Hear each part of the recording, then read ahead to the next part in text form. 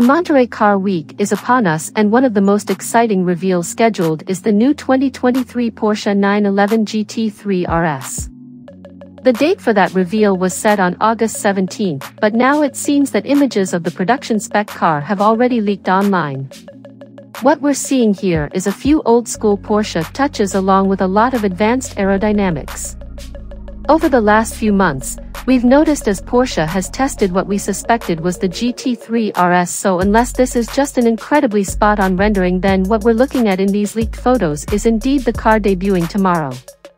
Road and Track noticed these six different images that were posted to both Facebook and Instagram early yesterday. In them, we get a clear look at the classic GT3 RS Porsche font emblazoned on the side of the two-door supercar along with a lot of other finalized details. The first is the abundance of hardcore aero bits on just about every surface.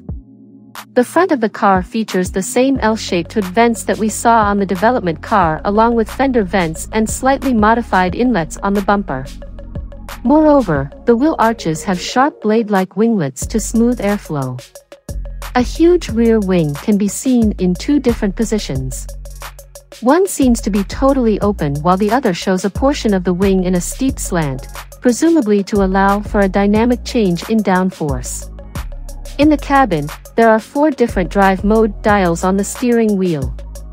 That's far more than the standard single dial found in the car this one will replace and, presumably, they are used to adjust different functions of the car.